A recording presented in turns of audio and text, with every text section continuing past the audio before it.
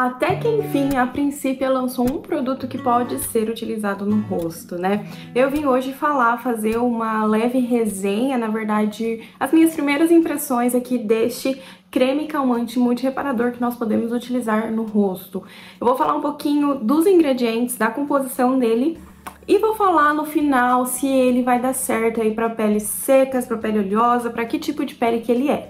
Mas conforme eu for falando dos ingredientes, vocês já vão conseguindo pegar. O primeiro componente dele é o pantenol, então nós temos 5% de pantenol e a maioria, gente, dos cremes hoje em dia que tem ação reparadora tem o pantenol, né, que é a provitamina B5. A provitamina B5 é um álcool, né, e por esse motivo possui hidroxila na sua composição e com isso consegue reter quantidade de água. Então é um ativo umectante que consegue reter água na nossa pele. Porém, além disso, por ela ser uma provitamina, ela auxilia, né? Depois ela vai na pele se transformar na vitamina B5 e vai auxiliar em vários processos da nossa pele. Então, este componente ele ajuda na homeostase, vamos dizer assim, do, da nossa pele, porque ele faz vários processos, inclusive a vitamina B5, ela faz parte da coenzima A, que faz parte do ciclo de Krebs, que é da respiração celular, ou seja, é, essa, esse componente ele vai auxiliar no metabolismo mesmo de tudo que acontece, metabolismo celular de tudo que acontece no nosso corpo, né? Inclusive na nossa pele, que é onde a gente está aplicando ali topicamente, onde vai ter a permeação do ativo. Então, desse ativo a gente pode esperar umectação, hidratação, melhora ali de do, do, da reparação dos tecidos, maciez, esse tipo de coisa. E como eu falei, ele é super já famoso e tem vários cremes calmantes ou principalmente reparadores de tecido. Nós temos a provitamina B5 porque ela aumenta né, a metabolização ali de tudo que acontece, inclusive da reparação do tecido na nossa pele. Temos também 5% de glicerina, né, que é um ativo também que já é muito conhecido e tem em vários produtos de skincare, de rosto, de pele, de corpo, de cabelo, de tudo, tem glicerina. A glicerina quimicamente também é um álcool, né, chamado de glicerol, e também tem hidroxila, ou seja, também vai conseguir puxar água para a nossa pele, né? Fazer essa umectação na nossa pele. Então, principalmente a glicerina tem uma ação hidratante. Também temos aqui 3% de esqualeno. O esqualeno já é um ativo que não é tão conhecido e tão usado, mas ultimamente ele está sendo mais usado nos produtos de cuidados com a pele, né? E o que acontece, gente? Na nossa pele nós temos o esqualeno e também temos o esqualano, né? São duas derivações de um tipo de óleo muito parecido. O esqualeno e esqualano é um tipo de óleo que nós temos na nossa pele, né? São duas variações de um tipo de óleo muito parecido em que um se converte com o outro, né? E ele faz parte de aproximadamente 13% do sebo que nós produzimos, né? Então a nossa glândula sebácea, ela produz oleosidade, ela produz sebo, e dentro desse sebo, aproximadamente 13% é de esqualano juntamente com esqualeno. O esqualeno, ele é instável, né, no ambiente assim. Então, ou seja, a gente tem nos cosméticos o esqualano, né, e não o esqualeno, porque ele é mais estável. Porém, na nossa pele a gente tem os dois tipos. E o que acontece? Por ser um óleo que nós já produzimos, né, ele tem uma capacidade muito grande de biocompatibilidade. Então, ele tem uma compatibilidade muito grande com a nossa pele. Isso significa que é uma coisa que meio que nós estamos repondo algo para nossa pele. Então a gente vai reparar esse tecido. Então por isso que quando a gente fala deste produto, realmente ele é um, um creme multi-reparador, né? Ele tem várias funções de reparar esse tecido porque ele está devolvendo alguma coisa que de repente pode estar tá prejudicada. E conforme a gente vai envelhecendo, conforme o envelhecimento, as glândulas sebáceas vão diminuindo também a produção de sebo, que consequentemente, né, vai diminuindo a produção de esqualano também. E o interessante do esqualano, gente, ele é um óleo, tá? Então ele realmente é um óleo. Então já fica aqui o primeiro ponto para pele oleosa. Será que é ruim para pele oleosa? Não, não é ruim. Isso por quê? Por mais que ele seja um óleo, ele é um óleo biocompatível, é um óleo que a nossa pele produz. Então, ele não é um óleo que vai prejudicar a pele. E outra, que ele tem uma permeabilidade muito boa. Então, quando você aplica o óleo de esqualano, até mesmo puro, ele passa um tempinho, ele é permeado muito rápido por ter essa biocompatibilidade com a nossa pele. Então ele não fica aquela oleosidade, aquele brilho, sabe? Ele rapidamente vai sendo permeado e, e vai fazer ali a sua função de hidratação, maciez, reparação, inclusive ele tem uma ação calmante também na nossa pele, o esqualano. Então, pessoal que tem a pele oleosa, de repente até acneica, né, é, às vezes pode ter medo quando vê aí que é um, o esqualano, sabe que é um óleo, porém não precisa, porque ele é biocompatível, ele é o que a gente tem na nossa pele, então ele não vai piorar, inclusive ele é muitas vezes utilizado em peles acneicas, em peles oleosas, para recompor essa barreira, porque muitas das vezes, gente, a pele acneica ela tá com a barreira cutânea desestruturada, sabe? É, às vezes não tá com aquela barreira cutânea intacta. Então, por isso que às vezes a glândula sebácea produz tanta oleosidade na tentativa de proteger, na tentativa de manter essa pele protegida, né? E aí a gente é, muitas vezes é utilizado o esqualano nesse tipo de pele e ajuda muito. Já vi vários relatos de pessoas é, com acnes, inclusive acnes graves, que utilizaram esqualano e foi muito bom. Claro, não apenas ele, mas em conjunto com o tratamento, é, ele foi muito bom, porque o tratamento que às vezes da acne que é um pouco forte demais, um pouco intenso demais, é, que acaba às vezes prejudicando um pouco da barreira cutânea, o óleo de esqualano ele vai auxiliando a manter essa barreira mais intacta, a regenerar essa barreira cutânea. Então, se você tem a pele oleosa ou acneica, não se preocupe com o óleo de esqualano, ele é muito bom, inclusive indicado para esse tipo de pele. Também temos 2% de manteiga de karité, que também é outro fator que muita gente fica com o pé atrás, né? Porque é uma manteiga, né? E a gente sabe que realmente a manteiga de carité ou qualquer outras manteigas que a gente tem no mercado, elas são realmente compostas por grande parte lipídica, né? E é realmente isso, porque quando a gente fala de um hidratante calmante, reparador, a gente tem que reparar essa parte lipídica mesmo, porque os lipídios, eles protegem a nossa pele. Isso é um fato. Então tem que ter sim quantidade lipídica ali neste produto. Porém, gente, também é uma coisa que não precisa ter medo, porque é 2%. Então, assim, é uma quantidade que vai auxiliar na barreira cutânea, que vai auxiliar na recuperação da pele, porém não é uma quantidade muito grande. Para vocês terem noção, na época que eu trabalhava em farmácia de manipulação, é, tinham médicos que prescreviam 20, 30% de manteiga de, de manga, manteiga de carité, de manteiga na composição. Então, sim, é uma quantidade muito grande. 20, 30% era até difícil de manipular porque ficava uma consistência muito oleosa. Às vezes não, não queria misturar, sabe? Então era até difícil de, de manipular, porque era uma quantidade muito grande. Mas não eram poucos médicos não, tinham vários médicos, porque na farmácia a gente acaba tratando algumas doenças de pele que a pessoa realmente tem uma barreira cutânea muito danificada, sabe? Então precisa de uma coisa muito potente. Então, para vocês terem uma noção, nesse que os médicos prescreviam, usava-se até 20, 30% de manteiga. Isso sim é uma quantidade muito oleosa. 2% é bem tranquilo, tá? E, e, os lipídios que a gente tem também, os ácidos graxos dessa manteiga, também são compatíveis com a nossa pele. Não é nada que vai ocluir e que vai aumentar a espinha porque é uma quantidade bem adequada. Depois eu vou fazer a aplicação com vocês, eu não tô falando que o produto é sequinho, nada, realmente ele tem um toque mais hidratante. Vou fazer a aplicação para vocês verem como que ele fica, o viço que deixa na pele, mas já adianto assim que por mais que ele não seja sequinho, sequinho, ele não vai ser um vilão, vamos dizer assim, para uma pele oleosa, tá? Aí nós também temos 1% de bisabolol. O bisabolol é um ativo calmante, ele ajuda na, na acalmar essa pele, né? E todas as vezes que a gente tem alguma coisa eu vejo, inclusive nas, nas propagandas que eles fazem, que a princípio faz, muitas vezes para tatuagem, áreas de tatuagem, porque é uma área onde você teve uma lesão, onde aquela pele precisa se recuperar. Então eu vejo muita gente utilizando para essas áreas de tatuagem. É basicamente isso, porque ele tem essa ação calmante, né? Então o alfa bisabolol ele ajuda nisso.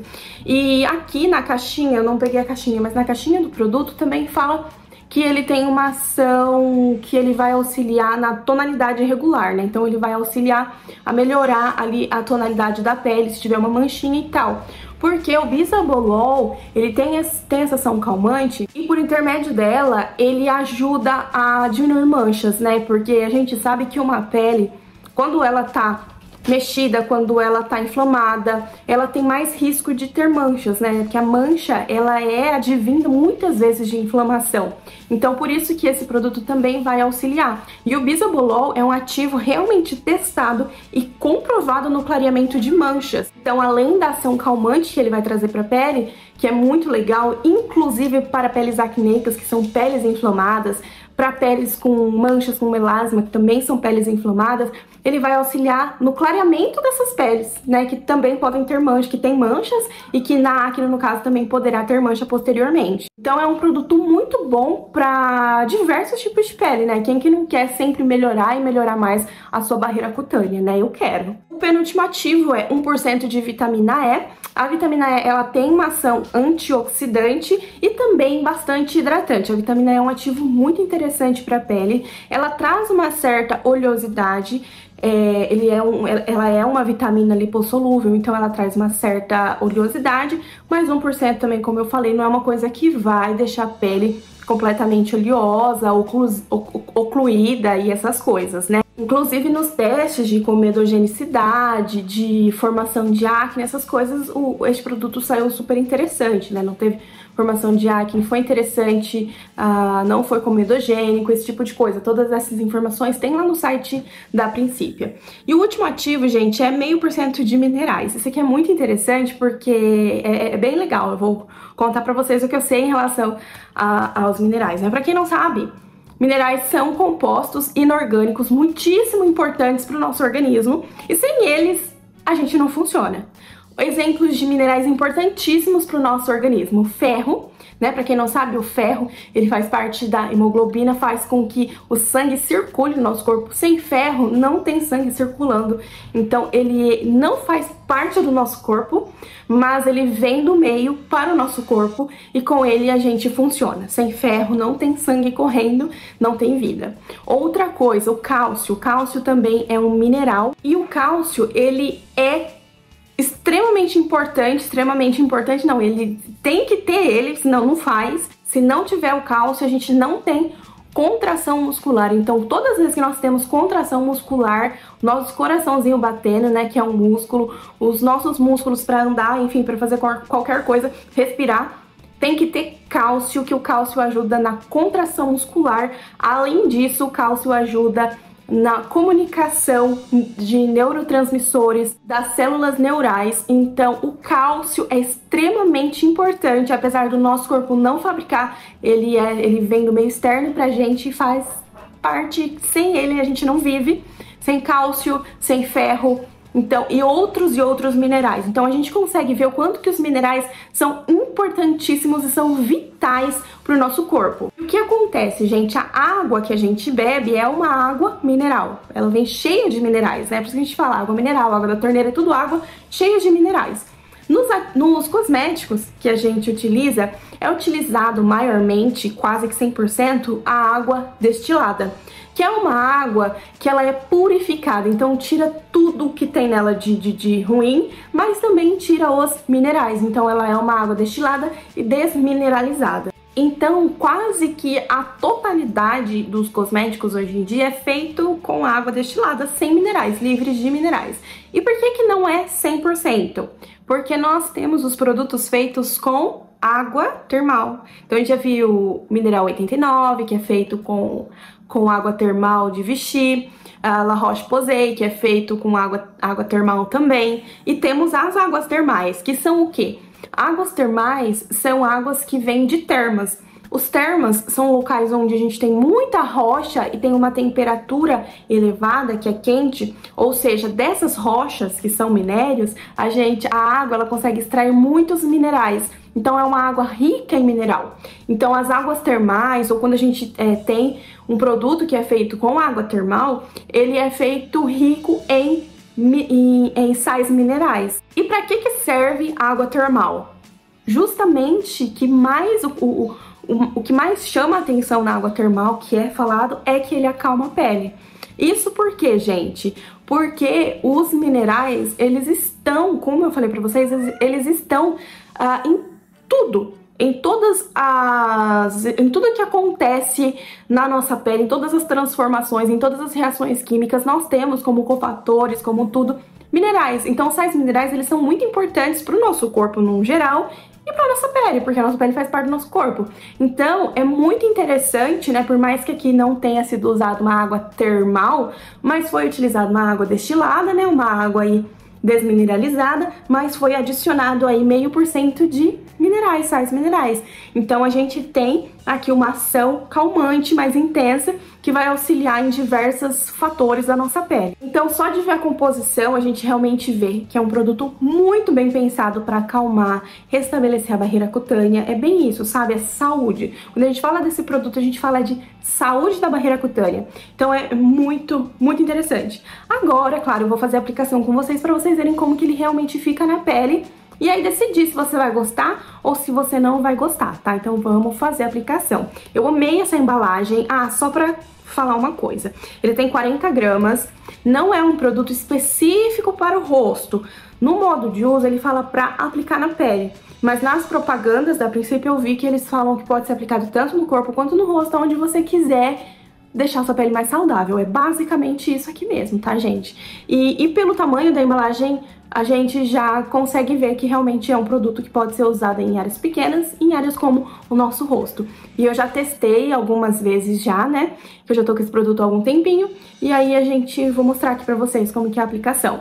Eu amei a embalagem porque ela tem esse bico aplicador maravilhoso, né? E fica, tipo, muito fácil de aplicar o produto na pele. Então, vou chegar mais perto aqui pra aplicar junto com vocês, pra vocês verem.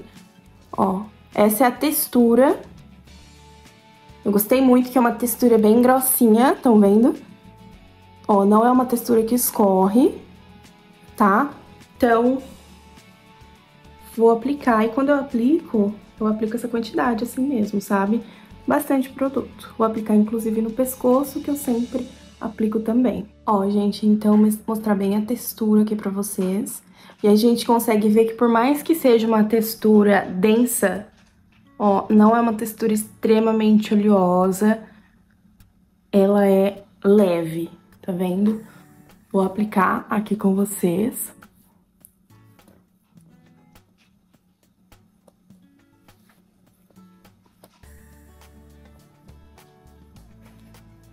Trago sempre pra orelha também e pescoço bem hidratado. Olha, gente, muito rapidamente o produto já foi espalhado e já tá sendo permeado pela pele, já tá secando e sendo permeado, estão vendo?